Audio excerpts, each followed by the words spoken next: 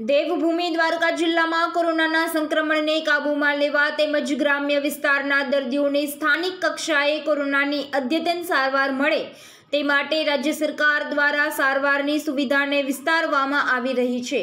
જે અંતર્ગત આજે સાંસદ પૂનમબેન માડમના હસ્તે જનરલ હોસ્પિટલ જામખંભાળિયા ખાતે પચાસ લાખના ખર્ચે તૈયાર થયેલ દસ હજાર લીટર ઓક્સિજન ટેન્કનું લોકાર્પણ રિબિન કાપીને કરવામાં આવ્યું હતું.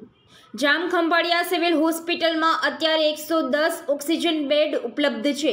તેમાં કેટલાક વેન્ટિલેટર પરના દર્દીઓને ઓક્સિજનની વધુ જરૂરિયાત હતી અને કેટલાક દર્દીઓને ઓક્સિજનના અભાવે દાખલ કરી શકાતા ન હતા. પરંતુ રાજ્ય સરકારના સતત પ્રયત્નો રહ્યા છે કે જામખંભાળિયાને હોસ્પિટલને ઓક્સિજન ટેન્ક મળે.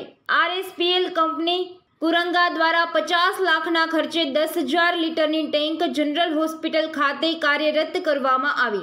તેમજ વધુમાં કહ્યું હતું કે ભારત દેશમાં અઢાર વર્ષથી ઉપરના તમામ લોકો વેક્સિનેશનનો કાર્યક્રમ ચાલી રહ્યો છે. તે અંતર્ગત આપના જિલ્લાના લોકો બંને ડોઝ લઈ આપની સુરક્ષા આરક્ષિત કરીએ. તેમજ વધુમાં તેમણે દેવભૂમિ દ્વારકા જિલ્લાના લોકોને અપીલ કરીને ગામડાના લોકોને કોરોના વાયરસનું સંક્રમણ દેખાય તો તાત્કાલિક નજીકના પ્રાથમિક આરોગ્ય કેન્દ્રમાં જઈ કોઈ ડર રાખ્યા વગર જરૂરી ટેસ્ટ કરાવી ઘરમાં જ સારવાર લઈએ અથવા નજીકના સારવાર કેન્દ્રમાં દાખલ થઈ સારવાર લેવા અપીલ કરી હતી. કે માત્ર સાત દિવસની અંદર અહીંયા ટેન્ક દસ કિલો લીટરની કેપેસિટીની ટેન્ક અને સાથે વેપરાઇઝિંગ એનું મશીન બધું થઈ અને લગભગ પચાસ લાખની આજુબાજુ સીએસઆર અંતર્ગત આ પ્લાન્ટનું આજે અહીંયા લોકાર્પણ એટલે કે એને શરૂઆત કરવામાં આવી છે.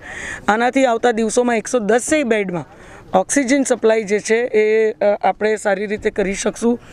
જે પ્રશ્નો વચમાં વચમાં જે આવતા હતા, ઓક્સિજનનું પ્રેશર ઓછું થવું ને આ બધા ઓક્સિજન સપ્લાય ઓછી થવી, થોડી દોડાદોડી થતી હતી, એ બધું હવે એટલીસ્ટ હોસ્પિટલનો સ્ટાફ એ ચિંતા વગર હોસ્પિટલમાં ટ્રીટમેન્ટ ઉપર વધારે ફોકસ કરી શકશે.